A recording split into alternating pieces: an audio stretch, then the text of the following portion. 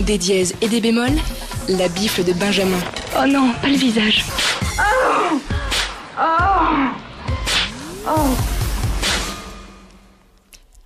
Pas plus tard qu'en fin du XXe siècle, j'ai découvert le rock français. T'as découvert téléphone, c'est ça non mais allô quoi le rock français. Pas les textes de CE2 d'Aubert qui rêvent d'un monde sans les branlettes frénétiques de, de Bertignac sur son horrible Gibson. Non, le rock français, celui de Noir Désir, Noirdesse comme on dit. La poésie des écorchés, la chaleur des rifts de Tessoguet, la rage des rythmes de Barthes, les lignes fleuves de la base de Vidélec, puis de l'enfant Jean-Paul Roy, et les bouquets de nerfs de Quentin. C'est avec Noir Désir que je me suis dit qu'on pouvait faire de la musique, que faire de la musique, pardon, c'était aussi dire des trucs, qu'on pouvait être engagé, qu'on pouvait avoir des choses à dire. Pas genre euh, engagé comme Kali euh, qui ferait mieux d'écrire des bonnes paroles ou de la prêcher, comme dirait Orelsan, mais avec des vraies convictions. Et je me suis mis à lire la musique en plus de l'écouter, et ça c'était une vraie découverte. Alors forcément, quand j'ai vu hier le retour de Bertrand Cantat, filmé par mon pote Rod au passage, ça m'a fait bien plaisir. Ce fut une longue attente avant de s'élancer, disait-il. Trois ans après le très moyen temps des et presque plus de dix ans après ses dernières collaborations artistiques, j'étais content. J'exclus volontairement Cœur, qui n'était pas vraiment un album.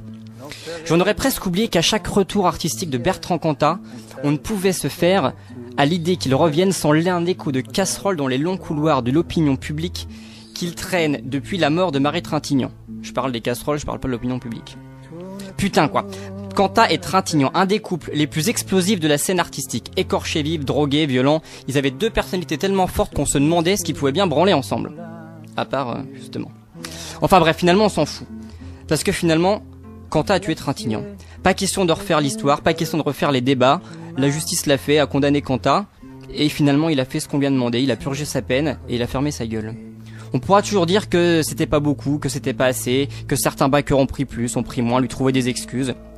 Après tout, on s'en branle. Les seuls qui peuvent en juger sont les personnes dont c'est le métier. C'est ce qu'on appelle la justice. Certes, c'est vrai qu'il y a eu des justices, il y a eu des dérives dans la recherche de justice, mais c'est pas pour ça qu'il faut arrêter la justice. Et c'est pas moi qui le dis, c'est Bertrand. Mais parfois, le tribunal populaire prend le dessus. À l'arrière des taxis, au son de RMC, on défend un mec qui tue un autre dans la rue, qui s'est vengé ou qui s'est défendu suivant le point de vue qu'on prend. Chacun y va de son style, en grand pyromane social, oriflamme déployé dans la rue, alimentant le grand incendie de la, de la scène médiatique. Et c'est parti. Tout comme j'ai pas d'avis sur l'histoire du biotennis et tout comme je m'en branle, j'ai pas d'avis non plus sur celle-là. Mais j'ai pas envie de fermer ma gueule quand il n'y a pas à fermer sa gueule. Parce qu'on peut ne pas être d'accord avec une décision de justice, auquel cas chaque partie, dans les conditions bien définies par la loi, peut en faire appel. Mais je déteste ces lynchages médiatiques. De manière générale, je déteste quand tous les gens sont d'accord. Accepter la démocratie en tant que dictature de la majorité sur des minorités m'est déjà difficile. Mais voir des visages, des figures à travers la France se prendre pour de sombres héros bien amers en débattant sur des sujets qui les dépassent me laisse pantois. Septembre, en attendant, est terminé.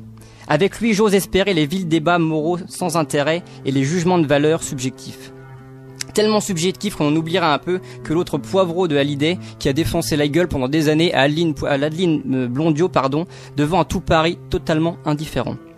Parce que habilement montée en épingle, l'affaire Trintignant n'est même pas devenue le symbole des femmes battues mortes sous les coups de leurs conjoints. Elle n'est qu'un règlement de compte personnel vomi dans les journaux à tort et à travers, étalé à l'endroit et à l'envers, sur tous les plateaux qui voulaient bien servir de laverie, de laverie à linge. Tout me donne mal dans cette histoire. À la longue, un peu de dignité et de hauteur dans le débat n'aurait pourtant pas fait de mal. Dix ans après, je ne comprends plus qu'à chaque fois que le nom de contrat surgit, chacun a besoin de redonner, de redonner, de re-redonner son avis. Certains pour l'accabler, d'autres pour le défendre. Pour l'accabler, inutile de lui faire de la pub. Pour le défendre, inutile de le faire de la pub. J'aimerais qu'un jour en France, on puisse écouter Bertrand Cantat pour ce qu'il a à faire écouter pour le disque qu'il a à faire passer et pas pour le passer d'après ses disques. Pas seulement parce qu'il a payé sa dette à la société et qu'il n'y a qu'à la justice qu'on peut s'en prendre si l'on pense que ce n'est pas assez, mais aussi parce que nous laissons une seconde chance à nombre d'individus dans cette société, qu'ils soient connus ou pas, et que Quanta bénéficie depuis dix ans d'un traitement à part. Rien ne s'efface jamais, et personne n'a la volonté d'oublier ou d'effacer. Mais aujourd'hui, j'aurais aimé que la violence des attaques apprenne à dormir, et qu'on écoute la sobre prière de Quanta pour ce qu'elle est qu'on apprécie le texte d'un être humain comme les autres, avec ses faiblesses, ses erreurs, ses excès, ses colères, ses mots, ses maladresses, ses passions et ses désirs. Moi, il me touche. Et si je dis, si je mets des jeux partout, si je mets des jeux partout dans mes chroniques à la con, un peu partout ici, sur le web, sur la radio, c'est parce que je parle toujours de moi, de ce que je ressens dans mon petit être à moi, tout seul. Chacun est libre d'aimer Quanta, ou un autre, d'aller à ses concerts ou à celui d'un autre, de dire que c'est bien ou que c'est mauvais. Mais personne n'a le droit de rejuger un homme qui l'a déjà été.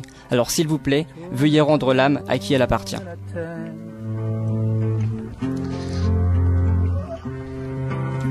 Tout se dissout dans la lumière. L'acier et les ombres qui marchent tes.